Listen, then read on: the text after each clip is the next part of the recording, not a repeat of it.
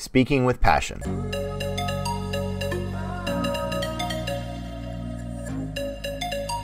Hi everybody, this is Sam with Python Basics. So in today's video, you're going to see that we're going to be talking something about a little bit different.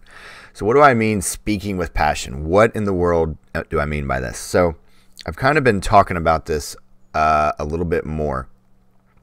So speaking with passion is actually basically a product of building something that you like. So if you're trying to get a job in fill in the blank, you need to have had some sort of experience doing something like that. In programming, it's it's a little bit easier than other job. It's like, oh, I want to be a, um, I want to build, I want to be an architect. So I need to go and design a, uh, and plan out an entire building. Well, that's a little bit unrealistic.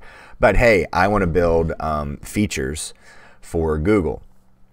Okay, well, you can actually go and build features for Google, put it up on GitHub, and start um, talking about it on LinkedIn, YouTube, uh, Facebook, uh, X, any of these platforms to get this out there. But they so that's then the previous step. Well, the previous before step before that is you need to have passion and energy and care because that exudes through what you want to be talking about. Well, then the step before that is doing something that you enjoy building because I'm seeing young people right now, they're doing something and they're trying and they're just building what they think people want to see.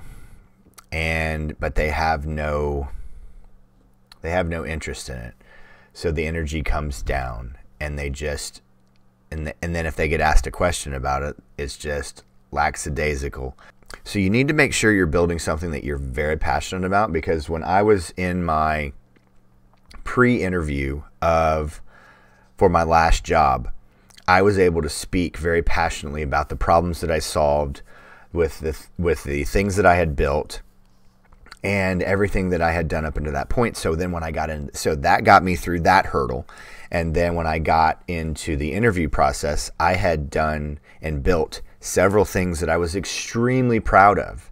So I was able to speak to those very, very passionately, emotionally, and was able to speak in great detail. So all of these things, doing something that you want to be building is vital because you're going to have times when you're going to have to build something that you're not interested in.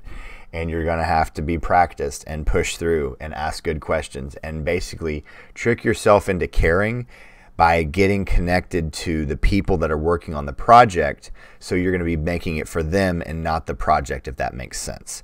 So uh, I just wanted to share th- these ideas and concepts of ensuring that you're doing, building something so you can speak passionately about it, so you can get your foot in the door on that next step of your journey of whatever you're trying to pursue. But we're here talking about programming, data, um, SQL, data analysis, data engineering, all of these things for problem solving that I am just absolutely engrossed in. See, for me, it doesn't really matter what the problem is. I love these puzzles. I love partnering with business people who have a real problem that they need data to solve. And I'm like, I that sounds great. You tell me this is important, it's important. I'm going to dig into it. I'm going to submerge myself into everything about this and I'm going to help you answer the questions that you need, even if it's a question you don't think is important. And go, "Hey, that question I don't think is that important. What do you think about this one right here?" And you just be, begin to form this symbiotic relationship with these individuals who do not have a technical background, and that's where you come in. So, just wanted to throw out a quick vi- video on this today, but I hope everyone is doing well. Uh, please hit that like and subscribe button. Make sure you're hitting the notification bell. Most important, there is a Discord link down below. Make sure you're joining that link so you can get the help that you need and deserve with whatever part of your journey you're on and wherever you want to be. But as always, thank you everyone for watching. Stay tuned, and we'll see you next time. Bye, everyone. Hey guys, thanks for joining us today. I hope you really enjoyed today's video.